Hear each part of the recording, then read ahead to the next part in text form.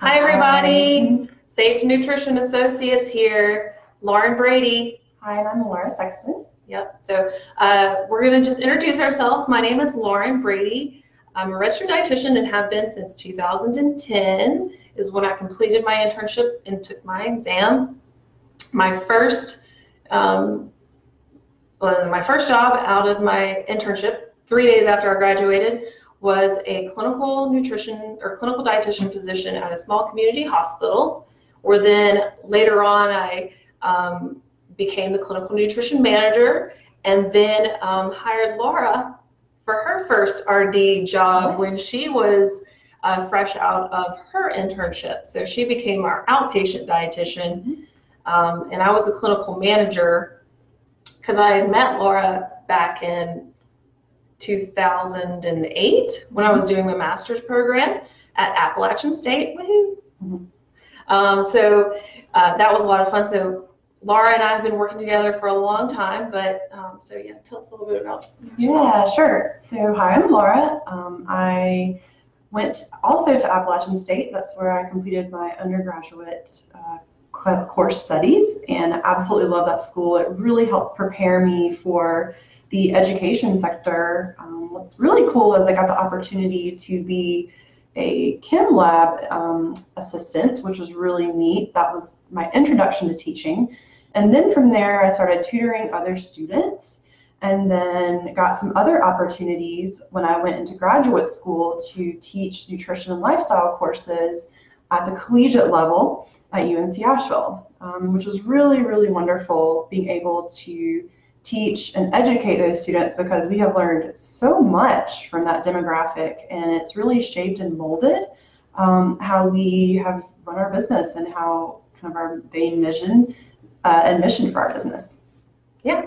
So, so that's a little bit about us. Um, so let's get into a little bit of nitty gritty about um, Sage Nutrition, who we are, what we do. Um, it's really exciting being a small business owner and um, kind of living out your dreams and your passions.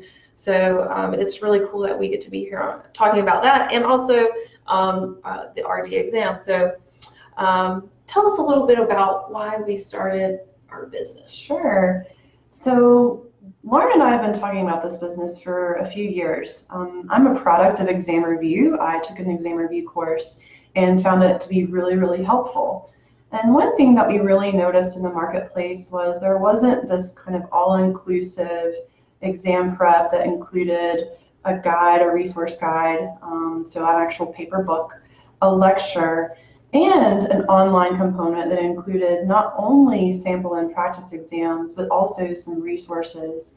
And then having that combined with access to us through question and answer via email was just something that we thought we could bulk together, combine together, but also put it at an affordable price. We really have a knowledge and understanding, being um, dietitians, that when you're coming out of your internship, coming out of graduate school, you're in a significant amount of student loan debt. And so we think it's just really, really important for us to provide a really, really high quality product, but at a valuable and affordable price. Mm-hmm. And so that just kind of started this whole pathway. And we just felt that the materials could also be improved and that the delivery style and how we execute the course is different than others. And we really, really focused on learning methodology, using evidence-based practice, and just learning a lot about the education system and sometimes how faulty it is in preparing students to take standardized exams. Yeah, and so along with that, we really wanted our materials uh, to, like Laura said, be high quality. Um, our review guide is meant to be a reference that you can use in your practice as a new dietitian. And it's set up more like a textbook. It's got an index, and um, it also has worksheets and things that you can work through um, if you buy it alone or if you um, attend our um, class our workshop, we go over that with you as well. So, um, so yeah, we just wanted a very comprehensive product, and also it being available online can um, open up the opportunity for those who may not have access to an in-person exam review um, maybe you live in Alaska or Hawaii or West Coast or or simply don't have it. You don't have access to it for, for whatever reason, and also you um, may not have the additional money to spend on gas and eating out and hotel rooms um, or even a, a flight to get where you need to go to be at that in-person site. So you can save all that money and time by just logging on um, for our live stream. So we also wanted to make it available to those who maybe didn't have access. So. Yeah. Okay, so let's talk about a little bit about how we actually run our um, workshops. So um, do you want to start? No, you go ahead. Okay, all right. So um, how we actually run our workshops, we uh, so someone calls and they say, oh, I want to join a um, online workshop. Okay, great. So what we do is we um, included in the price of the workshop, we send to you um, a paper copy of our exam review guide. So you get that. That's over 300 pages of information, and we review uh, most of that, not every single detail of that. You can also read that on your own um, during our workshops. If you're doing one of our in-person workshops, then we have the book ready for you when you come, when you walk in and check in that first day. So then from there, over the next two days is pretty intensive. We take seven to eight hours per day and review um, all the domains on the exam review, especially the most important ones, the ones that people tend to have the most problems with, um, or that just sometimes needs some extra reviewing. A lot of the concepts also um, you can read on your own. So um, we do encourage that as well. But we, a main part of our workshop is where we go over the um, test taking, how to actually take the test, walking through the questions, what to look for when you are faced with certain types of questions. So we actually break that down in a lot of detail, um, which seemed to be really helpful um, helpful for taking an exam. So um, we really focus on that as well, um, and also making sure you understand you understand um, good study habits and study methods as well. Yeah. So then after those two days, um, you or did you want to have did you want to say something? I was just going to say um, one of the things that makes us more unique with our workshops is the delivery. We are different than everyone else because we don't just review straight out of the book. Um, we understand how lecturing can be really, really hard for students when they're just being the recipients of information. Um, so we do have some components where the students are able to self-assess throughout the course. They also are able to interact a little bit more with our worksheets that are in our book. And then we really spend a lot of time on the questions. The questions are the most important aspect of this review course because that's what you're going to be facing on the exam. And so the content and the knowledge behind it, yes, we review some of that and we review the most important aspects, but at the same time, we're really there to help prepare you. So that preparation includes a lot of different facets. So they're just beyond, here's what this means, here's this definition, and then how do you apply that on the exam? So we take a different approach and we just find that that is making us more unique compared to other people. Mm-hmm. Exactly, exactly. So, um, so then once we complete our two days of intensive workshop, either it be online live stream, which if you're online live stream, you basically log into your laptop computer in a place that is quiet and um, where you have good um, computer access or internet access. So it's good to hard, hardwire into that as well. Um, so once you once we finish our workshops and wrap up, you get access to our um, online portal, which has uh, great resources in it. Um, it's got videos uh, for how to study, study methodology, um, printout resources for um, creating your study plan, um, and also uh, the main thing is the three full-length practice RD exams. So there's 125 questions each um, per exam, and those questions mimic the, the questions that you'll see on the RD exam.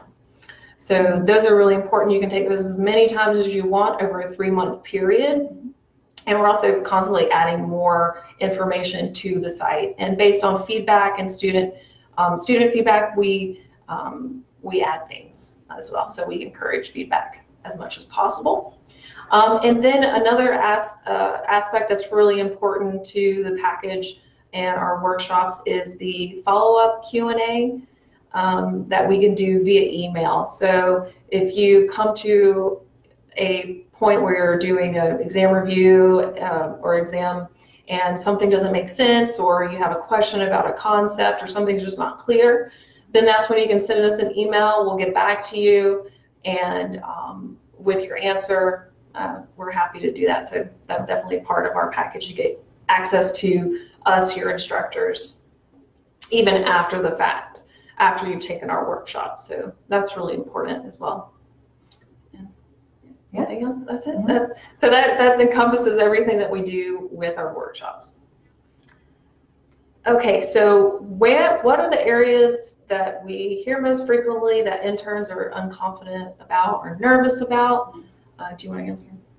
Yeah, sure. So it really once again depends on the internship experience and the undergraduate preparation and graduate preparation. So each individual student may be stronger in a certain topic area. So for example, in clinical internships that are really, really focused on those clinical rotations, we find those students have no problem with domain two, which is primarily the clinical domain. And so those students often have deficits in more of the managerial areas or the food service areas. And then we have the opposite of that, where we have some interns who had more of an emphasis in management and and food service, and so they lack some strength in clinical areas. And so we really try to be comprehensive in our approach and, and listen to the feedback from students and focus on those different areas and focus on the questions and how they'll be asked in those certain areas. And so that's really important to understand that each student is going to be individual they're each going to have some areas of strength and some areas of weaknesses. And we're just here to provide a comprehensive overview. But please note, if you're a dietetic student who might be weak in a specific area, you may need to focus more and study some additional textbooks beyond what we provide because if you don't have that basis or that knowledge in those general sciences, for example, then you may need to go back and revisit so we just really encourage um, that individual approach. So as you go through our course, you identify your areas of weakness, and then we just give you some more tips on how to prepare if we don't provide enough for you through that exam review guide. It's a 300 page book, and let's just think that CDR examination covers a multitude of resources so we try to provide as much as possible, but some students may need additional resources. Mm-hmm, mm-hmm, exactly. So uh, just make sure that you have access to those resources. I know a big trend right now, especially with saving money and and um, access, is getting online books.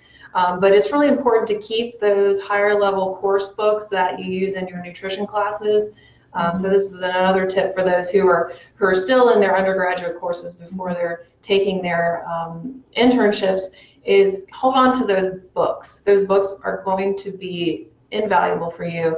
Um, even in your internship, first couple, I mean, I still use some of the books that I got during um, undergraduate. So um, especially, you know, those foundational uh, books biochemistry, uh, nutrition, um, MNT, and that kind of thing. Those are going to be really important to keep around and buy physical copies of. So make sure that you have access to those. Um, okay, so what are some other tips about studying for the exam? Uh, let's see, do you want to? Yeah, so some tips for studying. Um, make sure that you have a study plan. It's very important that you actually take a moment or take some time to develop a study plan. And it's just like with anything else when we're preparing our clients, for example, or our patients, we have to give them a plan that we have to provide structure. And so the students who are most successful have a study plan and they stick to it. And so when you are mapping out your study plan, you really need to plug in, okay, what are the things that are absolutely necessary? So some of you are working, so you have to plug those hours in well then where am I going to study outside of those working hours?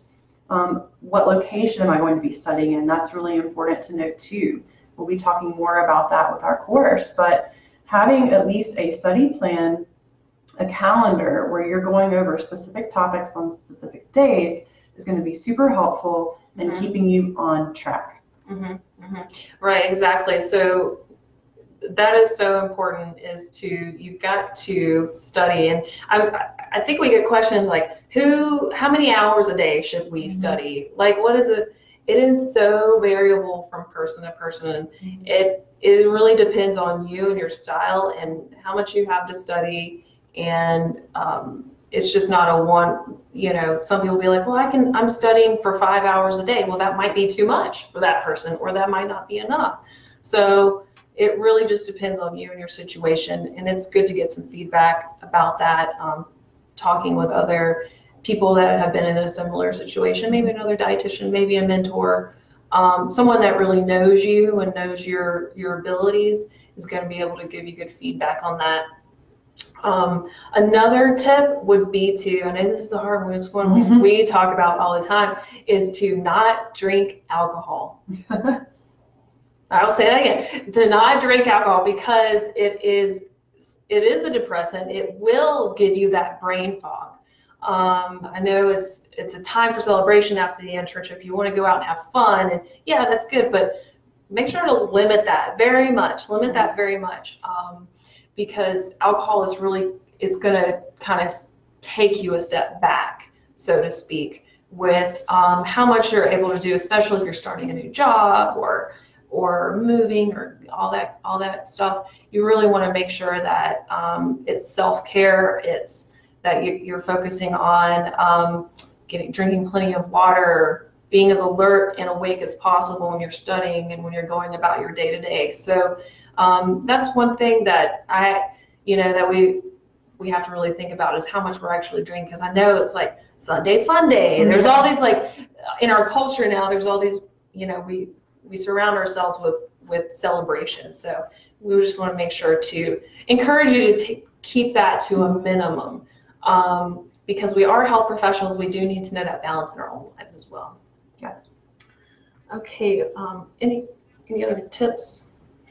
Um, and also, it's really important to evaluate how much time you're actually working on focused study. So, some people might think that they're actually studying for five hours, but how much of that time has been interrupted by, let's say, a text message, or do you have the TV in the background, or are there other distractors? Are you in a place where you're distracted by your children or by a loved one? Um, are you in a place where you're actually concentrating? These are all really good questions to ask because if you are studying for five hours, then you go back and evaluate and assess to see how much of that information you've retained or how much you can apply, and you're not able to really remember that much or you haven't focused that much, it's not going to translate through. Your brain does need some focused study time so it's able to retain for more of that long-term retention of information. Mm-hmm. So instead of, you know, studying for the short term, which might be for those five hours, you're focusing for the long term, meaning you need to memory bank that information for a good four to six weeks or longer so that you can actually remember it when you're being tested. So that's just something else to remember, and a whole other reason to not really drink that much or really minimize because it's a neurotoxin, alcohol is. Lack of sleep can really affect everything. Um, we all know that proper nutrition, hello, as you know, nutrition majors and future dietitians, all of those things are really, really critical to a functional brain. And you need all of that brain power to really be successful. Yeah, 100% agree, Laura. That is just key information. Um, that brain fog can really get you. Even if you don't like think that it's getting you, it's getting you. So, Yeah. um, another. Let's see another another tip. Um, oh, this is one I like to tell uh, people before they take their exam. So the like literally like the day before you take your exam, don't cram don't cram because you know everything you know up until that point. And if you're feeling anxious or anxiety, I believe you have up to 48 hours to reschedule your um, exam. So self evaluate at that point, three days before, and see, are you ready? Are you ready? And you're not rushing it. So reevaluate then. And then the day of your exam, it's good to take it in the morning because we're always fresher in the morning. Mhm. And um, before you get, try to get to the testing center 30 minutes, 45 minutes before um, you even really um, want to get out of your car because what I would encourage you to do is take a couple laps around the building. Just walk around the building couple times. Get that good breath, get that good, start engaging the parasympathetics and, and relaxing because testing anxiety is a real thing. And when you're shoveling coffee in your mouth, shoveling coffee, and then you're going to go in and take an exam, like what is that going to do to your testing anxiety? Oh my gosh. Yeah. Oh, Yeah. so so I would I would advise not to drink stimulants, coffee or tea. Mhm. Uh, drink plenty of water. Take a couple laps around the building before you go in and sit down for the next two to two and a half hours, and um, that's going to help your focus a little bit better. Yep, and thank you, Stacy, for um, agreeing with us. And um, Stacy mentions limiting coffee because it because it can to increase anxiety. So some of you who are daily coffee drinkers, um, you know, of course, you're probably going to need to drink a little bit of coffee, but that is not the day to get the triple shot espresso, you know, latte, um, because it definitely can increase your anxiety. And what's what do we want to do? We want to minimize anxiety. And so the best way to do that is to have a routine and also prepare yourself the night before. Have everything ready to go the morning of. So all you have to do is nourish yourself, hydrate yourself, and take yourself over to that exam Mhm. site to breathe, walk, and prepare. That's all you needed to do that day. No additional cramming, no additional studying, just preparing to be calm and focused. Mhm. And another day, another thing, the day of your exam or the day before or whatever is is to have a support person that you can text or call or something that is going to give you that emotional support because it is an emotional thing. It's it's high. It, it it's really feels high stakes and it, and it is. Uh, you're trying to pass on, you know, pass this threshold, and so have a, a mentor or someone that you trust that is going to encourage you, first off, um, that you're going to do great, that you're going to pass this Mhm. exam, that you got this, and um, someone that you can rely on. So, so find that person. It can be anybody. It doesn't have to be a dietitian or anything. It can just it just needs to be someone that's on your side that's um, can encourage you. And you can do this. That's what we always tell our students who we're working with. You've gotten this far. You've already passed standardized tests. So you're have a, you have experience with standardized test taking, which is really scary. I would say the main difference is that you're using computer-based testing for this exam. And so you don't have those tactile experiences like you do with other types of standardized exams. For example, a bubble sheet and a pencil is very, very different than having a computer screen. And then also having a calculator that pops up on your screen versus having a calculator that is there for you to punch the numbers in. All of those things are very different than kind of how we were prepared for test taking as we grow up. Um, and so it's just really important to understand there's going to be some disconnect when you're in that test taking environment. It's going to be different. It's going to feel very cold. It's going to feel sterile. But that's really designed for you to focus and to minimize cheating and other things like that. in those test taking centers, they're there watching to make sure that you're there and completing that exam in the proper way. Mm-hmm. Exactly.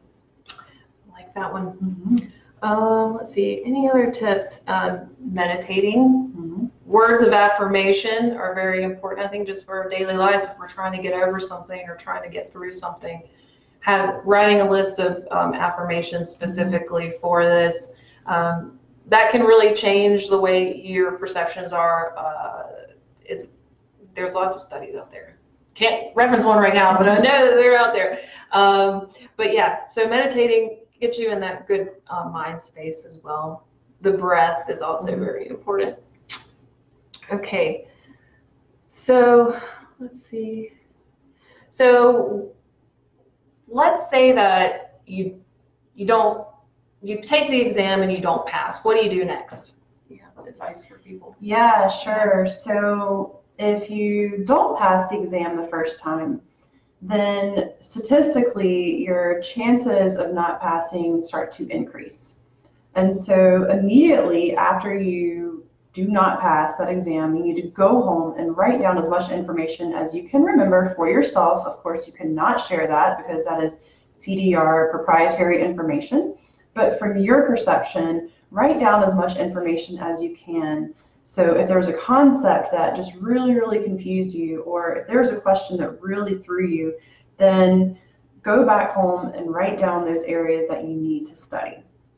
Also, that exam is designed to increase the number of questions in a topic area that you might be more deficient in. So if you answer a question wrong in the first domain, for example, then you may continue to get questions from that domain. And so for a lot of students, that can just be very, very um, anxiety provoking. And so it's important to also understand too that when you go to take that exam, there are 25 pre-test questions that you are asked that have nothing to do with your score. And so if you encounter a question that you absolutely do not understand, that you don't get, it makes no sense to you, you've never seen it before, that could be a sample exam question. So don't you know, hesitate and, and spend too much time on that particular exam question. If you don't know it or you can't answer it, then continue. So after you've taken that and let's say you failed, you've written down those concepts, it's important to revisit your studying habits take a moment to see, okay, well, how much time did I actually spend studying? What type of studying was I doing? Was it focused studying? And then also ask yourself, was I really anxious? Did I have a major life event? Was I actually prepared to take the exam? Because you need to go back into that second try super duper prepared. Don't go back into it just because you need to go back into it immediately. It's really just important for you to go in and prepare. And at that point, everything else that you know you think is the most super important thing in your life may not be as important, right? Right? And we all understand that, right? You know, so oh, I might have to miss this particular party, or I may not be able to go to this person's wedding, or whatever it is. You really need to prioritize and make sure that you and your career, which you've worked on for so, so many years and you've invested so heavily in, become successful. We want to see you succeed. But it often goes back to the student and them preparing themselves. We can give tons of resources, but it's how that student takes those resources and turns them into a study plan and how they apply themselves. You know, we're not there to make you study. We're there to give you tools and resources to help you become successful. Right, right. Exactly. I, I love what you just said. We're there to provide tools and resources and to help be that vehicle that really gets you to the place where you are prepared for the exam. So that's that's you know that I would say that really sums up a lot of what we do mm-hmm. and our driving forces behind what we do. And I mean, the number one thing about Sage Nutrition is um, preparing people to pass the exam and student success long-term success, short-term mm-hmm. success, short-term success by passing the exam, long-term success by being a really awesome uh, contributing dietitian in our field because we know how important that is, um, and providing you a community and resources to do that. So, um, but yeah, that's our number one thing is um, getting results for our our students. So that's everything that we do revolves around that. It's not about us. Nobody cares about us. Um, mm-hmm. it's about what we can do for you. So um, so, oh yeah, okay, I guess but this is a good place to end. Um, mm-hmm. So follow us on our Instagram at SageRDN and Facebook at facebook.com slash SageRDN. And on our Instagram and Facebook, we're constantly updating with tips and tricks and trying to get um, people to be inspired and, and have a laugh and also um, provide some, um, you know, good tips for studying and, and the exam. And um, we also do some giveaways. We've got a giveaway we want to talk about today. If you want to talk about. Yeah, yeah. So anyone who is listening or who watches this video in the future, we are offering a coupon code for 5% off. And so um, if you are interested in purchasing a review course, you can go to our website, uh, www.sagerdn.com. And whenever you go to checkout, we have a coupon code. It's Build Up RDN, Build Up RDNs, sorry. and we'll also include that information um, on our Facebook page. We'll also include it through all of our social media. Mhm. Um, and we are super duper grateful to Build Up Dietitians for allowing us and giving us space and time to do this interview, to um, share more about ourselves, and to help prepare all of those dietetic interns and students who want to become successful registered dietitians. We really want to see you succeed. We need you to be successful and contributing members of the dietetics community. And so please, um, if you have any questions or inquiries, please feel free to drop us an email, info at sagerdn.com. Um, yeah, awesome. It was nice to connect with everybody today. Thanks for your love and likes and comments and and um, yeah. So just keep connecting with us online or you know Yeah. send us an email, give us a call, whatever. We're Yeah. we're um, we appreciate all the feedback back that we get. So uh, okay, I guess we'll sign off. Yes, thank you again to the dietitian. Dietitians. Yeah, thanks, Leah. Appreciate you. Right, right. Bye.